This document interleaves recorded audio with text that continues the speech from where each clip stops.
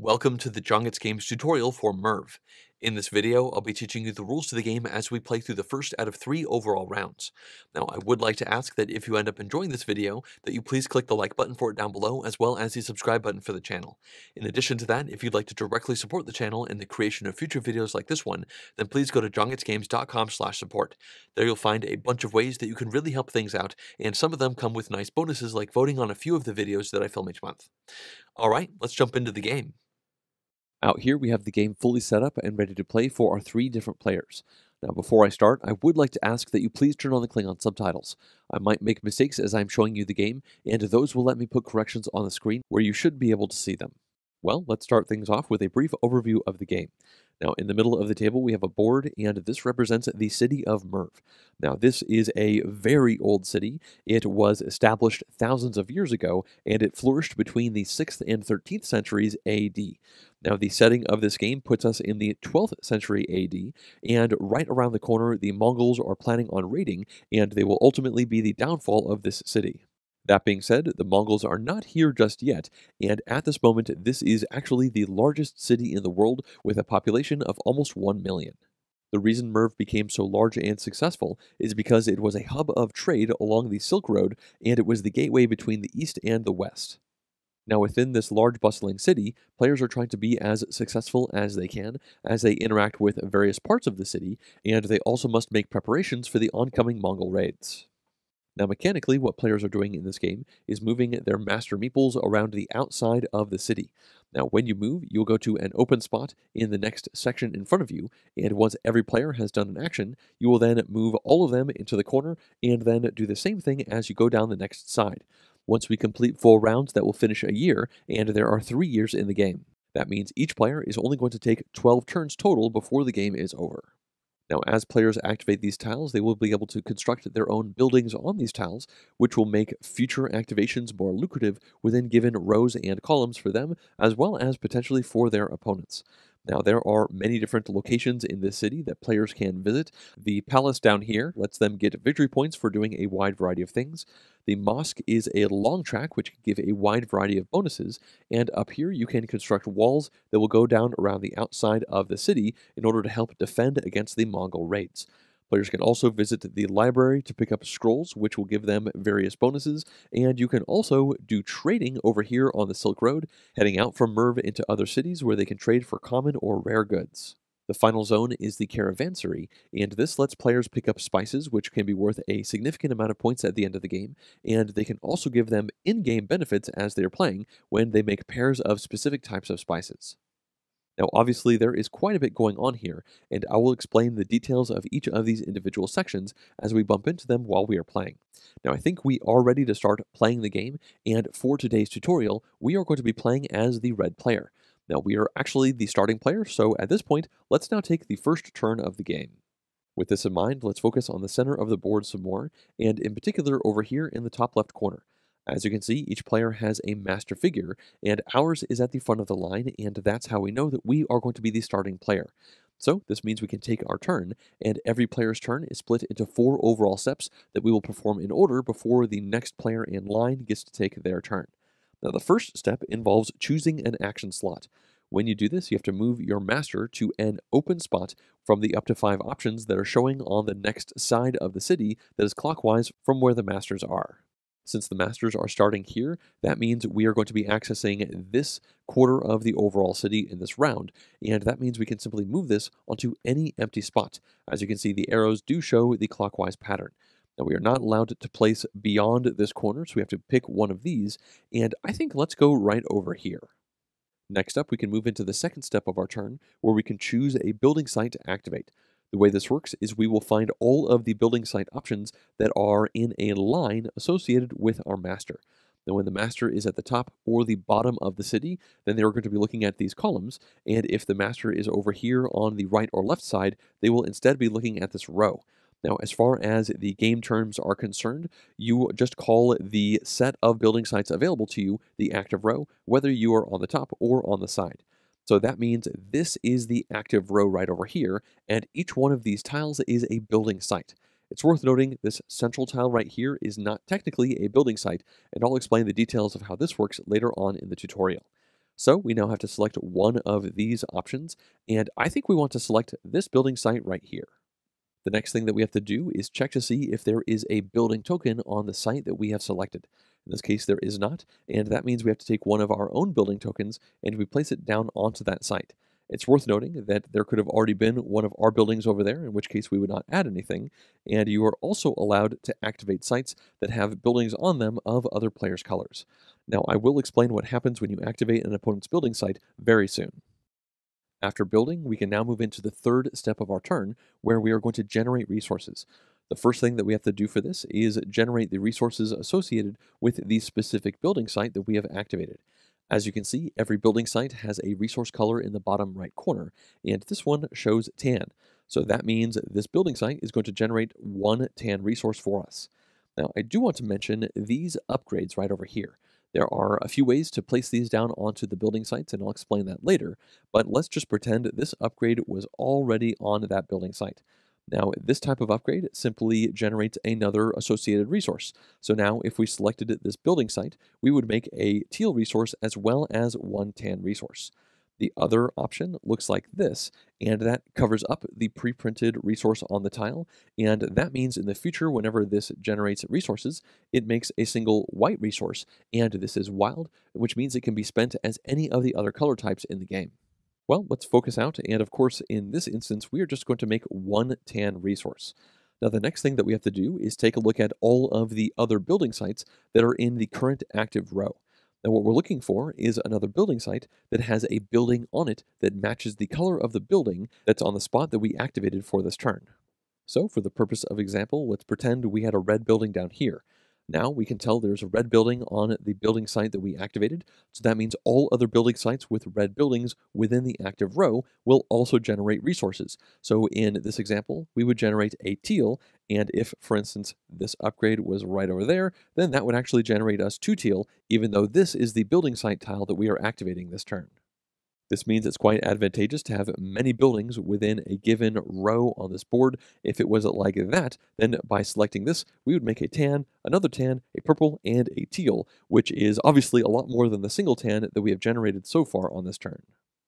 Before we move on, I would now like to talk about what happens if you select a building site that has an opponent's building on it. So for the case of example, let's pretend we selected this building site right over here with a blue building on it. Now, in this case, we are going to generate one purple because that is the type of resource on this spot. And then we will also generate a tan because once again, we will generate resources on all building sites within the active row that have a matching building color token on them. Now, in addition to that, when you activate a building site with an opposing building on it, your opponent will also be able to generate resources on the activated site. So that means in this example, as I said, we would get a purple and a tan, but the blue player would just get a purple. They do not get to take the standard resources on the other building tiles in the active area that have their buildings on them. Now, I did mention these upgrades before, and if there are upgrades on other building sites with the matching color, then your opponent does actually generate those. So once again, in this example, if we activated this, we would get a purple, a tan, and a teal, and the blue player would get a purple and a teal, because once again, they don't generate resources on the other tiles, but they do generate resources from upgrades on those building tiles. Now, obviously, this is not the case. At the moment when we generate resources, we are simply going to take one tan because this is the only building site with a red building on it in this active row. Well, we've now reached the fourth and final step of our turn, where we can perform a single action from three overall options. The first action option involves simply gaining one favor. The way you do this is you move your token forward once on this favor track, and if you reach any of these spots that show the victory point icon, you immediately take that associated number of victory points. Now, there are many ways to gain favor in the game, and whenever you see a turban icon like this, that means you gain one favor on the track. It's worth noting if your token ever reaches the end of the track and you gain more favor, then you will instead gain one influence, which is tracked up along here, and I'll talk about the influence track in more detail later on in the tutorial. Now, this is not the action that we want to do for our turn, so we can put this back to zero. This means we can now talk about the second action option, which involves taking a servant token and placing it down onto a building site as a soldier. As you can see, every building site has a shield with the servant icon on it. So for our entire action, we could place this right over here, and that building site would then be protected from the next Mongol invasion. It's worth noting that whenever you put a soldier down onto a site that has your building on it, you will gain one influence on the upper influence track. And if you put a soldier down onto a site that has an opponent's building on it, you will instead get two influence on the influence track. Now, I don't think this is what we want to do on our turn either, so let's now look to the third option, and that involves performing the board action that is printed in the top right corner of the building site that you selected earlier on in the turn. As you can see, this is the tile we selected, and the building site action shows the caravansary icon. Now this is going to be our main action for the turn, so let's now go to the caravansary, which is represented by the eight cards that are face up along the right hand side of the board. Now before we look at these cards in detail, I'd like to focus over here, because this shows us the details of how we perform the action. As you can see up here, it says we can spend any number of resources, but they all have to be the same. And for every resource that we spend, we can take one spice card from the caravansary row. Now down below, this tells you which spice card options you can take from the row. What this is saying is that you can take any spice card that currently has a camel token on top of it, and you can also take any spice card that is adjacent to a spice card that has a camel token on top of it. When we focus out, you can see that in a three-player game, there is a camel on the three farthest spice cards away from the spice draw deck.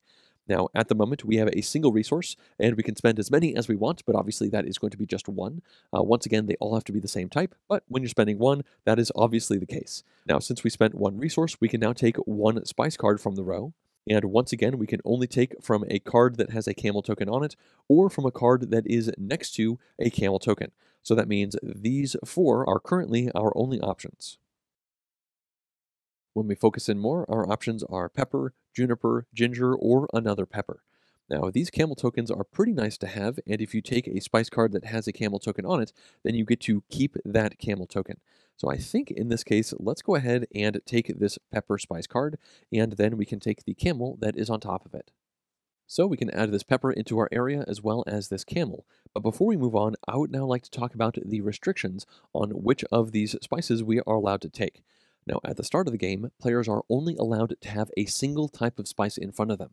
We have taken pepper, which means we have committed to pepper being our current only spice that we can take. That means if we had more tan resources, the only other option we'd have right now would be taking this other pepper right here because we cannot take a ginger or a juniper because each of those would be a second type of spice. With this in mind, I would now like to focus up on the influence track where you can see a few different icons underneath it, but in particular, I'd like to focus on these three over here. Now this shows 2x and then a equal sign with a slash through it on the spices. That means if we are able to get our influence up to this level, then we now have the ability to have two different spices in our area. You can have as many of each of these spices as you want, but this uh, track right here is going to unlock the ability to take more spices. So there are four total spices in the game, and if you want to have at least one of each, you're going to need to get your influence all the way up to this spot right over here. So for the moment, until we get our influence up to the fourth location, we are not allowed to take any non-pepper spices into our area. Now, the final point I'd like to make about taking spice cards is what happens every time you have two of the same type in your area. As you can see on this card, it shows two pepper cards and then a bonus, which lets you put down one of these upgrades, which will make a building site create a wild white resource instead of the one printed on that tile. That means every time we get a pair of pepper, we can place one of those upgrades out. So if we are able to find a way to take this, that would let us get an upgrade, which would certainly be good. Now, each of the different spices have a different pair bonus.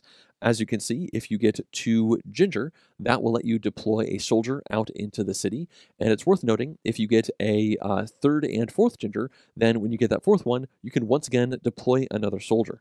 Now, likewise, this cinnamon over here lets you get a wild resource every time you make a pair, and the final option is juniper, which will give you one favor every time you make a pair of that spice. Now, I suppose I haven't talked about the numbers at the bottom of these spice cards just yet. This is endgame victory points that we get for making different sets of these cards, and I'll talk about that in more detail later on. Now for our action, obviously we just spent one resource. We have now taken our one spice and our action is over. This means we can now reset this market by sliding everything down, and then we will draw new spices from the top of the spice deck. Well, at this point, we have finished the fourth and final step of our turn. Now, I would like to mention that either before or after we take our main action, we do have the ability as a bonus action to claim one of these contracts, but I'll talk about the details of claiming these contracts later on in the tutorial. Uh, we are not taking any right now, and at this point, our turn is over. That means we can look up here to the city, and the blue player can now take their first turn of the game. After thinking through their options, blue decides to head all the way over to this spot, and that means this is their active row. They have to select one of these building sites, and they are going to go with this one here. It does not have a building on it, so they can construct their own building, and then they will generate resources. This is going to generate a teal resource for them, and there are no other blue buildings on any of the building sites in this active row, so that's the only resource they'll be generating. This means it's time for them to take their action, and they have decided to take the action that's printed on the building site that they activated, which is the marketplace action. Now, the first thing that Blue gets to do for this action is establish a new trading route.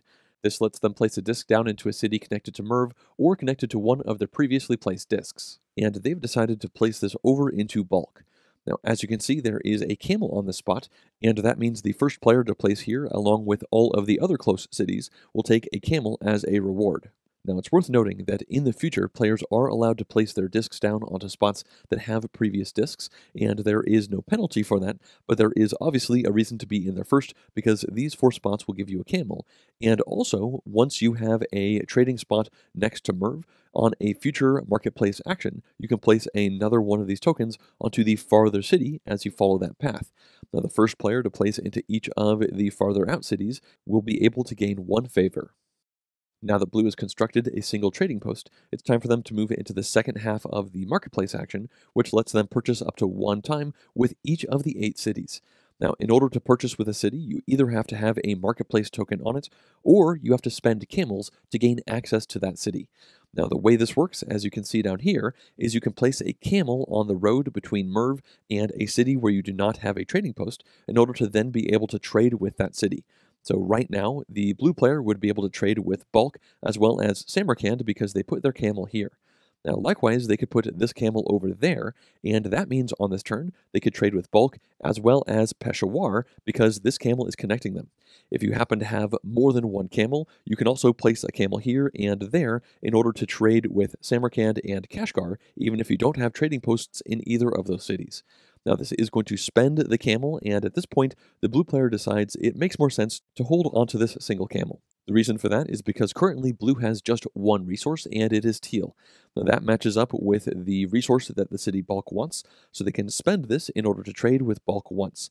Now, whenever you trade with a city, you are either going to take a common good or a rare good based off of which city you are trading with.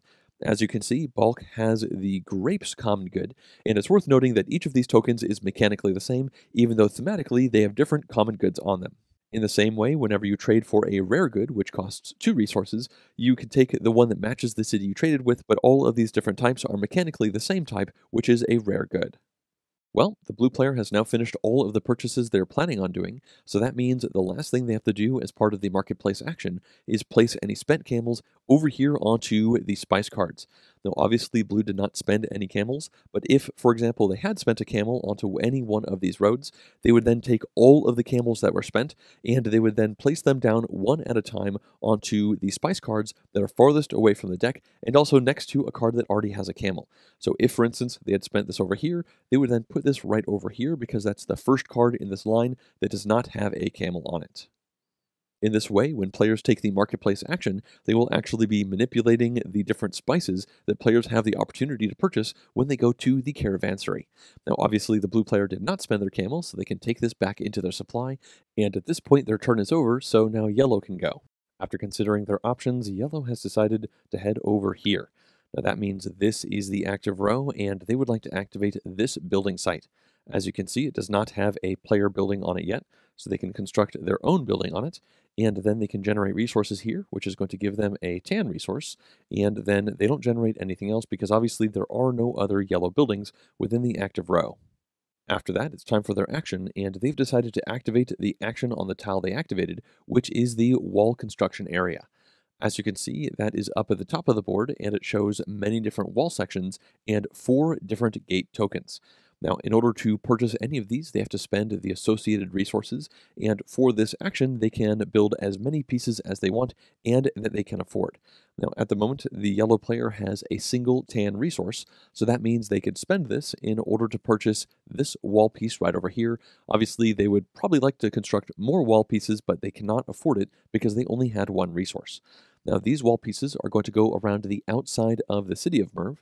As you can see, they go into the spots that look like this, but then the central row and column in Merv has a different icon, and you can only place a gate over there. And as you can see, the gates always cost three resources each. Now, in this case, it looks like the yellow player wants to place this wall right over here. And then after placing this, they can gain influence. If you look right over here, it shows a wall or gate piece and then two tiles. And that means we look at the next two tiles in the row or column associated with where the wall went down. Now, for every one of that player's buildings on a spot, they are going to gain one influence. And for every opposing building that's in those two, they will gain two influence. So if it was like this, they would get one, two, three influence. But obviously, the blue player did not play over there yet. So right now, they will just gain one influence for placing this wall. So the yellow player can take one influence, which is tracked up here. Well, that's finished up the yellow player's turn, and I do want to mention that the reason players build walls is not only to gain influence, but also to protect various buildings from the Mongol raids that are coming on later in the game. Now, I will explain the details of how a Mongol raid works later on in this tutorial. Well, at this point, there are no masters left in the corner, which means this round has come to an end. That means it's time to move these masters into the next corner of the board so that we can proceed to the following round. And the way this works is we start with the master that is farthest away from the next corner. Now that token is going to be placed on the farthest left turn order spot. That means that we are going to go third in the next round. However, there is something that we can do about this. Now, we do have a camel in our supply, and when we place this onto a spot, we could choose to spend a camel on a location that we do not want to put our master onto, to then go to the next location over. So we could spend our camel to go here, which guarantees we will go second in the next round, but then whichever player goes onto this spot will gain that camel as a reward. It's worth noting that right now, if the yellow player went, they could place a camel of their own on top of this to then be in first, and then there would be two camels there, both of which would go to the blue player, who would then be going third in the next round. Now, I don't think it actually makes sense for us to spend our camel. There are some better ways to use this, and I don't think turn order matters that much early on in the game, so we will hold onto this and go third in the next round. Now we can see we go to the yellow player. They are going to go into the second place spot. They don't even have a camel to go here if they wanted to go first in the next round instead. So they're going second, and that means the last thing that we do is move the blue player over here. And at this point, we can start the next round where we are all going to move our masters down the eastern edge of the city. So blue can go, and they're going to put their master right over here. That means this is going to be the active row, and they would like to activate this building tile here. Now that does not have any player buildings on it, so they can put their own building down, and now they can generate resources. So this is going to give them a tan resource, and then there is another blue building within the active row, and that means that is going to generate a teal resource for them, so they will get two resources total. Next up, it's time for them to take an action, and they are going to go with the board action that's printed on the tile they activated. Now this icon is for the library action, the way this works is players can spend one to four different resources in order to take one to four scrolls from the supply. At the moment, the blue player has a tan and a teal resource. Those are both different, and they have decided to spend both of those right now, and that will give them two scrolls from the supply. As you can see, there are slightly different writing styles on the scrolls, but they are all mechanically identical. So blue can place these in front of them, and then whenever players get scrolls, they have to check to see if they are now eligible for a new breakthrough. As you can see, there are four different stacks of breakthrough tiles, and you can take one tile from one of these stacks as soon as you have the indicated number of scrolls. Currently, the blue player has two scrolls, and that is enough for them to achieve a first level breakthrough because this shows a 2x scroll icon on the back. Now that means the blue player can look at all four of these options and then choose one of them to keep for the rest of the game, and then they'll put the rest back over here for one of their opponents to take. It's worth noting you are never allowed to take more than one breakthrough tile of a specific color. So the blue player can choose one of these first level breakthroughs, and they have an infinity symbol on the top to show they will keep this as an ongoing effect for the rest of the game. Now, each one of the first level breakthroughs gives you a single resource discount when performing the associated action on that tile. In this case, blue decides they would like a discount when performing the Mosque action, so they can place this face up in front of them and then put the other breakthrough tiles back over here into the supply. At this point, blue is done, but before we move on, I'd like to show you what the second, third, and fourth level breakthroughs look like for these scrolls. Now, the second level ones will all give you the ability to spend a specific resource color as if it was wild for the rest of the game up to one time per turn. So this lets you be much more flexible with a specific type. If you had this one, then once per turn you could spend a purple as if it was any other resource type. Next up, there are the third breakthroughs, which you get once you have six scrolls, and each of these are a immediate one-time use effect. As you can see, this one right here lets you place a trading post and then take a common or rare good for free from that associated spot. This one lets you move up the mosque track once without paying for it. This one lets you build a wall or gate once without paying for it. And this one lets you take any spice card from the row without paying for it. If it has a camel, you get the camel, but it is worth noting you are still restricted to a certain number of spice types based off of your current influence level. After that, the final set are the fourth level breakthroughs, which require 8 scrolls. And as you can see, these are also one-shot abilities. This one gives you 2 favor, this gives you 8 points immediately. That one gives you 2 soldiers, which help you fight back the Mongol raids, and the final one gives you a soldier and a favor. All right, I did say blue's turn is over, which means it's the yellow player's turn, and they are going to go right here. That's going to make this the active row, and they would like to activate this building site here. That does not currently have a building on it, so they can construct one of their own, and then when they generate resources, this is going to give them a orange resource, and the other one will give them a tan resource. After this, it's now time for yellow to take their action, and they've decided to perform the board action that's printed on the activated tile. Now this shows the palace, which is in the bottom middle part of the board. Now within the palace, there are four different areas, and within each of these, there are three slots that can take a courtier. Now, we are going to have a scoring after each of the game's three years, and the main way we will get points is from courtiers over here within the palace. Courtiers over here will give points based off of the number of steps you've gone up on the mosque. Courtiers here will give you points for the number of common and rare goods that you have. Next up, courtiers over here will give you one point for each spice card you have. And lastly, courtiers over there will give you one point for each scroll that you have. Now, during the scorings, you are going to have to spend favor for each courtier that you would like to score, and I'll talk about the scorings in more detail later. For the moment, the yellow player can now add courtiers to the palace, and they can place as many as they want to and that they can afford. As you can see, the cost to place a courtier into each of these areas is printed at the bottom, and the number of that resource you have to spend is equal to the number of courtiers you will have in the palace once you place the new one. That means when they put their first one down, that is going to cost a single one of these associated resources, and right now the yellow player has tan and orange. This means they could place over here or there, and at the moment, they don't have any goods, and they've not gone up the mosque track, but they think they're more likely to go up the mosque track, so this is the spot they'd like to go onto. That means they have to spend the orange, and of course they will spend one because they have one courtier within the palace. Now you can see underneath that courtier there is a favor icon, and that means the player who puts a courtier over it will gain one favor. So yellow will gain the first favor of the game. Now, as I mentioned, you can place more than one courtier, but if they were to put another one down, that would cost two of the associated resource, and currently they just have a single tan resource, so they are not in a position to be able to afford another courtier. The last thing I'd like to say about these is that they will stay on their placed spot for the rest of the game. So, yellow is done with their turn, and they can just save this resource for a future turn. This means it's our turn, and I think let's place over here. Now, in particular, I would like to activate the mosque, and there are two mosque icons within this row. So let's go with this one, I think. And there is obviously no building there, which means we can place one of our own. The next thing that we do is generate resources. This is going to give us one orange resource, and then of course we have another building within the active row, so that is going to generate resources, which will give us one tan.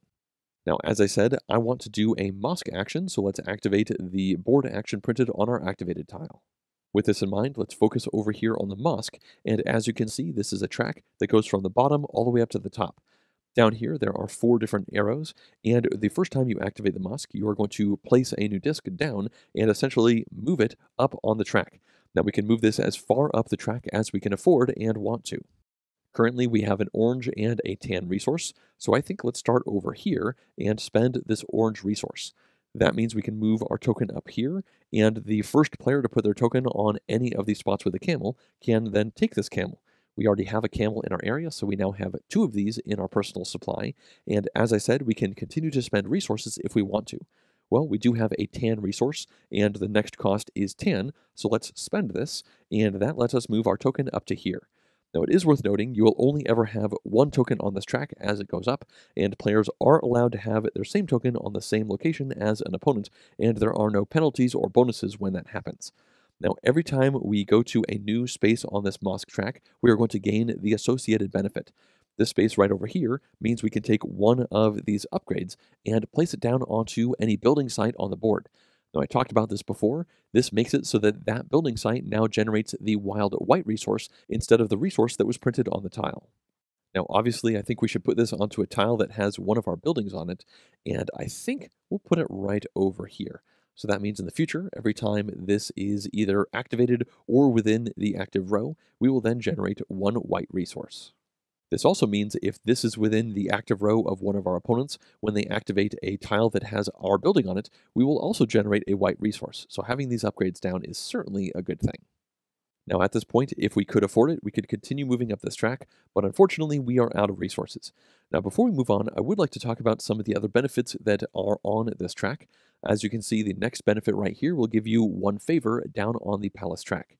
After that, this gives you one of these upgrades. You can select the one that you want, and you can place that down onto a tile that does not have an upgrade already, and that tile will then generate that associated resource in addition to the one that's printed on that tile. Moving on, once you arrive here, you can take one of these scoring tiles, and these will give you three points for every one of your buildings on the associated action type during each of the game's scorings. After that, this effect lets you put a soldier down onto any city that does not have an upgrade. As you can see, this upgrade covered up that soldier spot, so we could not place it there, but if we placed it over there, for example, then that specific building site would be immune from the next Mongol raid. Obviously, we haven't gotten there just yet, and we can now move on, where you can see this action lets you immediately place a courtier into the palace without paying any cost. After that, this is going to give you another favor, this right here will let you build a wall at no cost or a gate at no cost. And finally, this up here will give you 4 victory points for every building that you have on a tile that shows the mosque action. It's also worth noting when you reach these last four spots, you will generate the associated number of victory points when you enter those locations.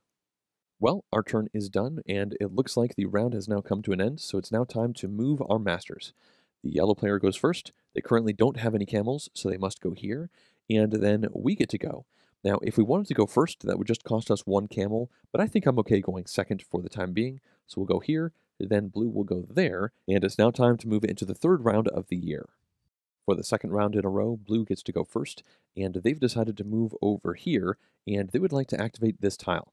It does not have any player buildings on it, so they can build one of their own, and then when they generate resources, this will give them a teal, and then this is within the active row, so that will give them a tan resource. So they can take these resources, and now they are at the fourth step of their turn where they take an action. Now, I haven't mentioned it before, but if you have the camel market within your active row, then before or after you take your action, you can visit the camel market. Now, when you do this, you can either take all of the camels that are currently on the market, or you can place a single camel onto one of the currently empty bonuses to take that associated reward. Currently, Blue does have one camel, and they've decided to visit the camel market before their action, and they're going to place it right over here, and that will let them take a wild resource from the supply. So they can add this into their area, and before we move on, I'd like to point out the other icons. This one right here will give you one favor, that gives you one scroll, and lastly, this one right here lets you take any spice card from the spice row, and if it has a camel on it, then you get that camel. Once again, you are not allowed to take a new spice with this action unless your position on the influence track allows it. After visiting the camel market, Blue would now like to build walls. Currently, they have three resources, and they could potentially build three walls if they wanted to, although it looks like they are just going to build two.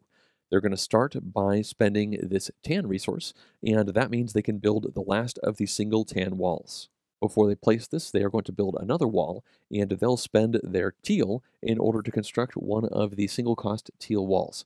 Now, once again, they could spend this to build another wall, but they have decided to save this for now.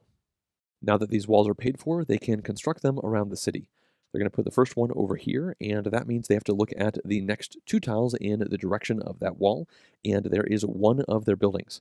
They're going to get one influence for their buildings and two for every one of their opponents, so in this case, that will give them a single influence. After that, they have decided they're actually going to help us out a bit. They're going to place this over here, and that wall is likely going to help us with the oncoming Mongol invasion.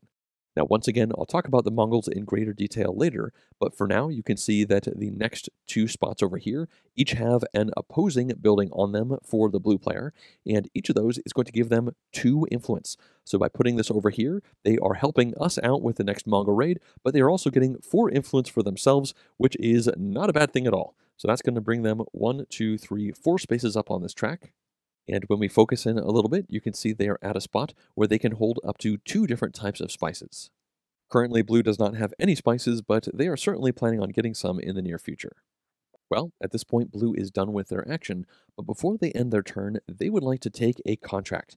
Now, I haven't talked about these just yet, and you are actually allowed to take a contract at any point during your turn if you can afford it.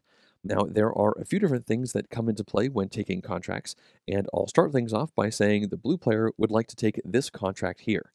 Now, as you can see, the very first thing on the top says you have to spend a resource of any color. Now, they have a wild white resource, so that counts as any color, and this might not seem like the best use of a wild resource, but they've still decided to do this. So they can spend that one resource, and then in order to complete this contract, they have to place two scrolls onto it, as well as one common or rare good. When we look down at their area, you can see they do have two scrolls and a common good, so they can put them right on top and put this over here.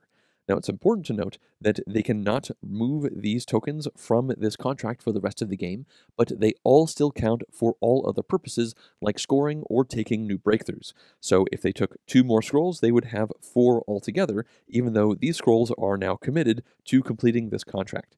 Now, the final thing that they have to have in order to complete this contract is the appropriate level of influence. As you can see, this card shows a 1, and that means you have to have at least two influence in order to take that type of contract. When we look down this track, you can see there is a space for a 2 and a 3, and these are associated with the higher cost contracts. When we focus out, you can see there are two stacks that need the 1, two stacks that need the 2, and two stacks that require the 3, and currently the blue player is just one influence away from having enough to get one of the second level contracts. Now, each of these is going to cost a common and a rare good as well as a scroll, so obviously the blue player isn't close to getting to those, but they are certainly trying to work towards more contracts. Now, at this moment, they have completed their contract, which means they can take the associated rewards. This right here says they can gain one favor, which will bring them up to one on the favor track, and then in the top right corner, this says they can get five victory points. It looks like these are actually the first points of the game, so they will go up to five.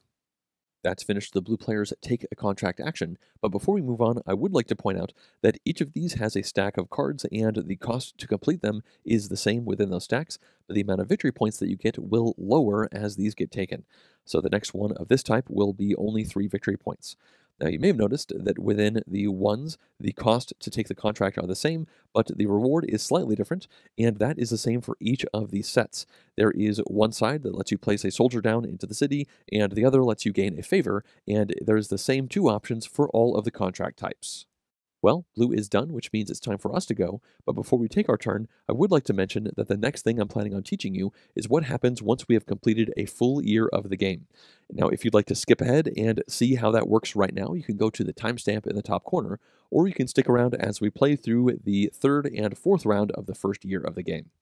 All right, let's now take our turn. When we move our master, we can go to any of these four spots, and I think we should certainly go to one of these two because that would put another one of our buildings within the active row. And in particular, let's go with this one right here. That way we are going to get a wild resource instead of an orange one. Next up, we have to select one of these tiles, and I would rather not select this one because, of course, if we select a different one, we will generate more resources and put more of our buildings down. Now, I do think going to the caravansary is a good idea, so I think let's activate this tile. That means we can put one of our buildings down since it is currently empty, and then we will generate a single teal resource and a white wild resource from our upgraded building. After that, let's visit the caravansary where we can pick up more spices. Now, if you remember, we can spend as many resources as we want, but they all have to be the same, and every resource lets us take a spice. Currently, we have some pepper, and we have no influence on the track, which means we are not in a position to take another type of spice. Now we can see out here that there is one pepper on the track and no others. So that means realistically, the only thing we can do is take a single spice. So let's spend our teal and hold on to this wild resource for another action in the future. Now, whenever we buy, we can take a card that has a camel on it or a card next to a card with a camel.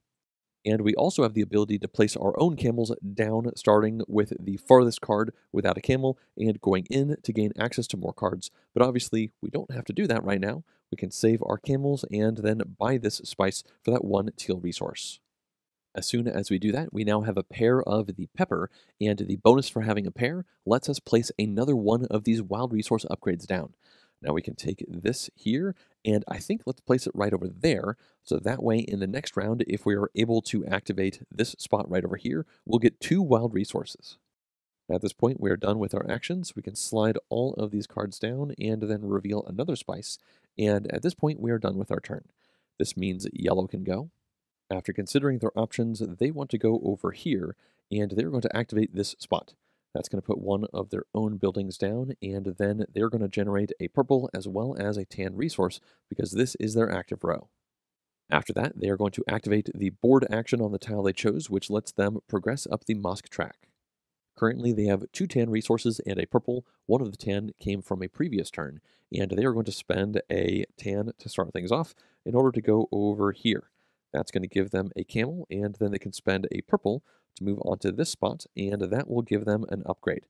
Now, they've decided to place this right over here, and then they do have one more resource left, but unfortunately they need to spend a teal resource next to move up again instead of the tan that they have, so they are going to once again hold on to an extra tan at the end of their turn.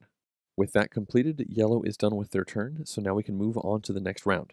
This means yellow will be third, and they do have a camel that they could spend to try and go second, but they're feeling pretty confident that their opponents aren't going to go where they want to go.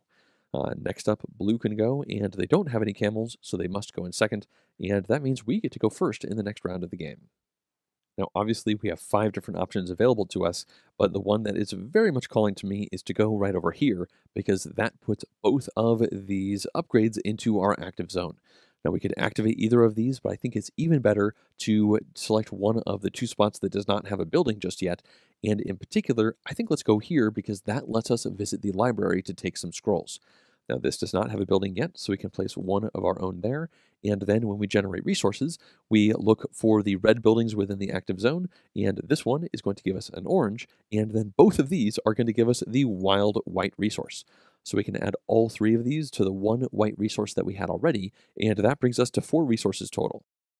Next up, like I said, I want to visit the library to buy scrolls because this is going to work out very well for us. Whenever we do this action, the most we can do for that single action is buying four scrolls, but of course that would cost four different resources. Now we have an orange here, but then we have three of the wilds, so that effectively counts as four different resources, and that means we can spend all of this to take four scrolls from the supply. Now, as soon as we take two scrolls from the supply, we can immediately take a first level breakthrough, if you remember, each of these gives us a once per turn single discount on a resource for the associated type of action. Now, we already have a couple of spices, so I think getting more spices is probably a good thing for us, even though at the moment there are no pepper on the row, which means we can't actually take any of these until we gain 4 influence. Fortunately, we can gain influence by building walls that protect our opponent's buildings, and I think we'll probably do that soon. If any of these gave us a discount on walls, I think we'd take it, but that is not the case. So I think we are still going to take the one that gives us a discount for future caravansary actions. So we can put these back, and then of course we only have two scrolls yet, and we bought four, so we can take two more, and at the moment we hit four, we can then take one of these second level breakthroughs. Now, these let us, once per turn, turn a specific type of resource into effectively a wild resource. And right now, when we look out to the map, we can see that our buildings create teal, orange, or the wild white resource already. Now, I think with that in mind, we should take the one that converts teal or the orange. And when we consider that we might want to place a building here to activate that huge row in the future, uh, let's take the teal one. So that means for the rest of the game, once per turn, we can count a teal resource as if it was wild. We can put the rest of these back down onto the board. So we can place these here, and it's worth noting with these four scrolls, we now have enough scrolls to complete two of these first level contracts. Now, we of course don't have the goods, the resources, or the influence to pull either of these off, but that is certainly something we would be paying attention to as we went throughout the game, trying to complete these as soon as we can to make good use out of the scrolls that we already have in front of us. Next up, the blue player can go and they would really like to visit the mosque. And unfortunately, there are no mosque actions in this active area, which has two of their buildings. Fortunately, there is a mosque here and they have one active building there.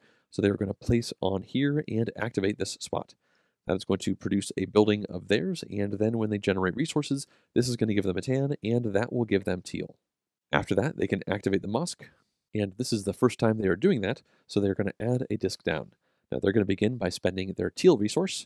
That means they can move along this path and take this camel. And then they currently have a tan resource, but the next one costs an orange. Fortunately for them, they have this first level breakthrough for the mosque. That lets them, once per turn, get a discount of one resource when doing the mosque action. So they can use this discount to pay for the orange, which will move them there. And then they can place this wild upgrade tile down onto a building tile. After considering their options, they're going to put this one right over here. And at this point, they still have a tan resource left, and that is the cost for the next step on this track. So they're going to spend this and then move over here where they will gain one favor. That will bring them to this spot here, and as soon as they arrive there, that will give them one victory point. So they will go up to six. Well, at this point, the yellow player can go, and they're going to go all the way over here to activate this row, which isn't a big surprise considering they have a couple of buildings up there they would like to activate this tile here. That is going to put one of their own buildings down, and then they will generate a teal, a white wild resource, and an orange resource. So they can add these to the single tan resource they already had, and now when they go to take their action, they are indeed going to activate the mosque. When we look at the track, we can see the next spot for them is going to cost a teal, so they can move this there, and that will give them a favor, which will bring them up to two favor total, and that gets them a point. So they will go up to one point total. Next up, they can spend an orange resource to move up once again on the mosque track, and that will let them take one of these bonus resource upgrades. After considering the options, they're going to take this one, which lets them make an extra tan resource, and they're going to add that right over here. That means in the future, when this activates for them, they are going to get a tan as well as an orange resource. So these will go back over here, and at this point, yellow is not done because they have a white and a tan resource still in their hand. Now they've had this tan for a couple of turns, and they are now going to spend this for this next step, which costs a tan and a teal. Obviously the white is wild, so that will count for the teal, and that means they can move over here and then take one of these scoring tile options. Now these will give them three victory points during every scoring for each building of theirs on the associated type of building tile. Out of all these options, they've decided to go with this one, which will give them three points for each building on a wall construction building site. So this will go right over here, and that finished a good turn for the yellow player. Now the round is also coming to an end because all players have taken their action. So blue will go up here. They have a camel, but they've decided they are not going to spend it to manipulate the turn order. After that, we can go. We have two camels, and I think going forward, it would be nice to go first in the next round instead of second. So I think let's spend a camel in order to jump the second spot and go first. That means the yellow player will go second, and they will get a camel, which they aren't too upset about. Alright, at this point we have completed a full year because the Masters have gone all the way around the track, and they are back in the top left corner. Now, if we look down over here to the round track, you can see when we complete the first year, we will then have a scoring. When we focus in, you can see this icon matches up with that icon within the palace. And this means each player has to spend one favor for every courtier that they have within the palace. At the moment, that's just the yellow player, so they would spend one favor. And it's worth noting, if you land on a victory point spot going in the left direction, you do not get those points again, but in the future, if yellow then gains another favor, they will once again gain that victory point. Now, it's worth noting that you must pay favor for every courtier that you have, even if you don't like the amount of scoring that they are potentially going to give you. Now, once you have paid your favor, you will then score for each courtier that you paid favor for. So it's possible you might have more courtiers in here than favor, and in that case, you have to pick and choose which courtiers will be activated by the spent favor. Obviously, in this example, yellow can easily pay for their one courtier, so now they can score this. Now, this area says they are going to get one victory point for every step up they are on the mosque track. Currently, we can see they are one, two, three, four, five steps on the track, so that one courtier is going to give them five points. It's worth noting players are allowed to have multiple courtiers in specific scoring spots, and if they had two in here, then that would have been 5 times 2 or 10 points right now. Obviously, that's not the case, so now they can take their 5 points, which will tie them at 6 points with the blue player. Now, as I said, every courtier that had a favor paid for it can score, but in this game, in the first year, only one courtier went down. Um, now, if we had other courtiers in here, we would score for them, and let's talk about how these specifically work. Now, let's pretend the blue player had a courtier right over here, and they paid for it. Now, that will give one point for every common or rare good that that player has, even if they are already committed to a contract. So if the blue player had placed this here, then that would be worth 1 times 1 or 1 victory point for them. Uh, that's probably part of the reason they didn't invest in this because right now that does not score very well. Now, after that, there is this spot, and if we pretended that we put a courtier down over here, then we would get one point for every spice card that we have at the moment. Currently, we have two spice cards, so that would have been worth two points to us, and that might have been worth it, placing this over here, but we decided it made more sense to try and go for things like these breakthroughs in the first year of the game. There are still two more years to the game to try and place courtiers and get a lot more points for each of them. The last one over here is going to give points for the scrolls. This one would have been a lot better for us because if we had this over here, that would be worth one point for every scroll that we had, and we currently have four. And once again, if you have scrolls committed to a contract, they still score for the purposes of this palace scoring up here. Now, obviously, we did not do this, and potentially we should have tried to make that happen, but you only get four actions within each year, and you have to prioritize what you want to do with each of them. Now, at this point, we have finished scoring all of the Palace Courtier options, which means we can now score for our buildings. Now, I haven't mentioned this just yet, but in each of the three scorings in the game, players are going to get one point for every building they have on the map. As you can see, each of us have four buildings, so in this scoring, each of us would get four victory points. That means yellow and blue would be up to 10, and we would be up to 4.